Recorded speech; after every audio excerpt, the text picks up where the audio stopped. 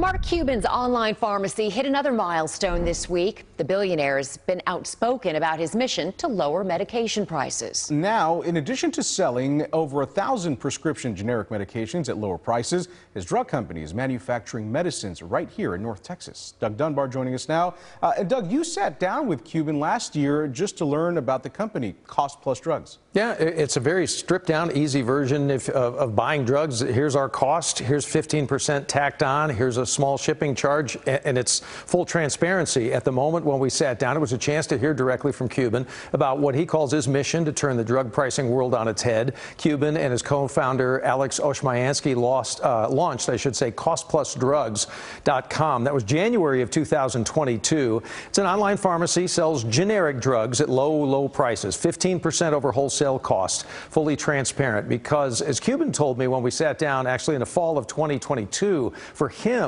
this business is not about the bottom line. This is no. not where you're looking to make millions. No, no, I'm definitely not. I mean, this is the chance to change the game. Um, you know, our mission at costplusdrugs.com is to be the low-cost provider for um, FDA-approved medications. Period. End of story. So we're not trying to create this enormous company that has telehealth and has, you know, these fancy doctors giving you advice. We are lean and mean. We don't do any advertising. The whole idea is to be the low cost provider of medications.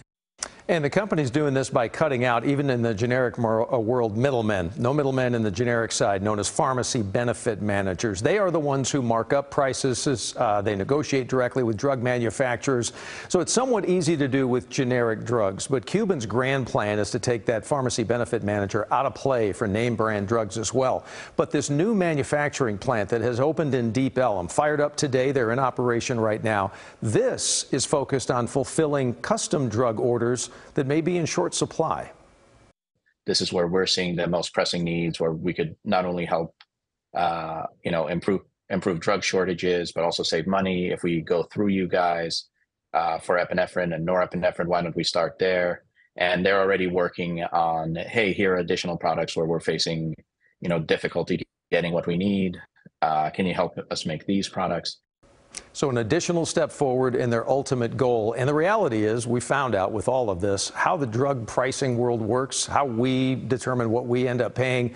It's a world mystery. Nobody really understands it except those on the inside. We spent months researching how the system works and found it to be highly complex. And honestly, it's very secretive. You can see the full report and the update from today on the website. It's at cbstexas.com.